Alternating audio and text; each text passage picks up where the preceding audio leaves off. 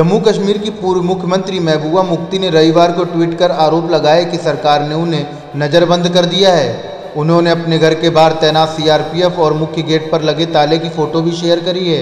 महबूबा ने ट्वीट कर कहा है कि जम्मू कश्मीर प्रशासन की ओर से मुझे सुरक्षा का हवाला देकर नज़रबंद कर दिया गया है, मगर वे लोग खुद ही घाटी के कोने कोने में घूम रहे हैं।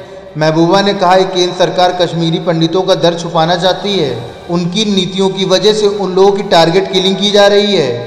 जिन्होंने कश्मीर नहीं छोड़ा है, इस तरह से सरकार हम सबके सामने कश्मीरी पंडितों को दुश्मन प्रोजेक्ट कर रही है।